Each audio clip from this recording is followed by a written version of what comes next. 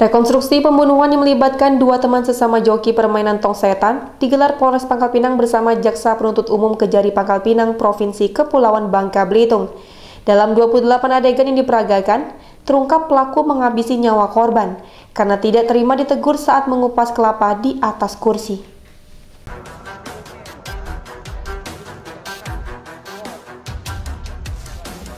Rekonstruksi kasus pembunuhan terhadap Vicky alias Luak 30 tahun yang merupakan jogi permainan hiburan tong setan digelar di Polres Pangkal Pinang bersama Jaksa Penuntut Umum Kejari Pangkal Pinang.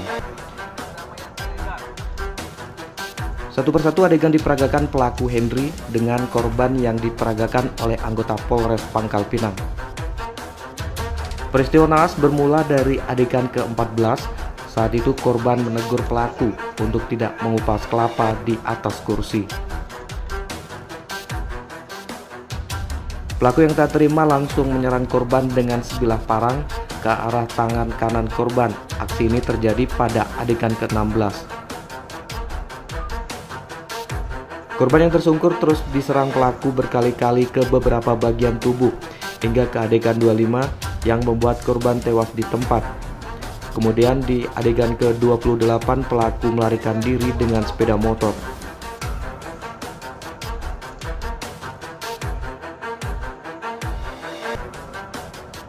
Rekonstruksi digelar untuk melengkapi berkas acara pemeriksaan sebelum perkara ini masuk ke tahap persidangan di pengadilan. 9 tahun 9 tahun kalau untuk uh, 338 nya uh, 4 tahun zamannya.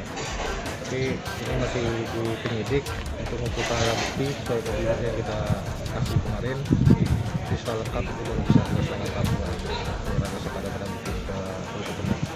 Adegan itu berapa yang membuat korban meninggal? Lebih kurang adegan ke 11 ya, yang ada ke belas, eh, belasan dari adegan eh, dua, eh, 13 sampai 22. Dan untuk pelaku sendiri, apakah ada gangguan jiwa atau gimana? Nggak ada, nggak ada. Dia hanya eh, sedikit stres saja. Artinya pada saat itu dia merasa bahwa sudah membunuh orang, akhirnya dia merasa menyesal. Itu aja. Tidak ada merasa gangguan jiwa nggak. Sebelumnya peristiwa tragis tersebut terjadi pada awal bulan Agustus lalu, di mana korban ditemukan tewas dengan penuh luka bacok senjata tajam di tubuh. Namun tak sampai dua jam melarikan diri, pelaku berhasil ditangkap. Dari Pangkal Pinang, Bangka Belitung, Haryanto iNews.